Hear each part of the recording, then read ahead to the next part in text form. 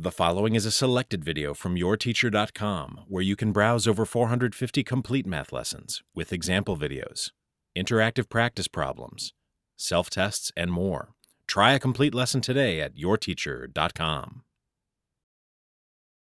Here, we want to find the mean, median, mode, and range for the dataset.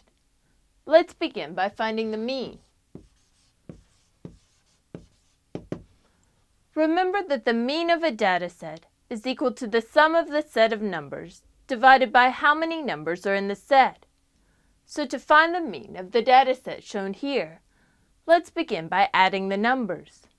So we have 15 plus 24 plus 49 plus 8 plus 50. This will be divided by how many numbers are in the set which is 1, 2, 3, 4, 5. Adding the numbers, we get 146.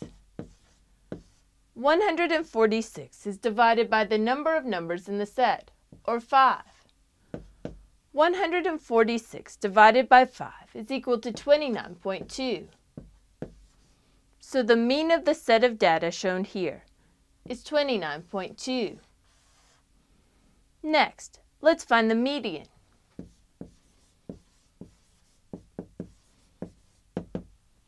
Remember that the median is the middle number in the dataset when the dataset is written from least to greatest. So let's write our dataset from least to greatest. We have 8, 15, 24, 49, and 50. So the median will be the middle number, or 24. Next, let's find the mode. The mode is the number that appears most frequently in a dataset. Notice that each number in our dataset appears only once, so there is no mode.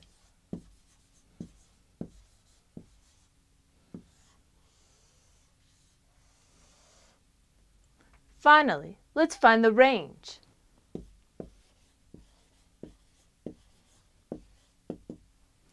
The range is the difference between the greatest number in the dataset and the least number in the dataset, which in this case is 50 minus 8, or 42. So the range of this dataset is 42.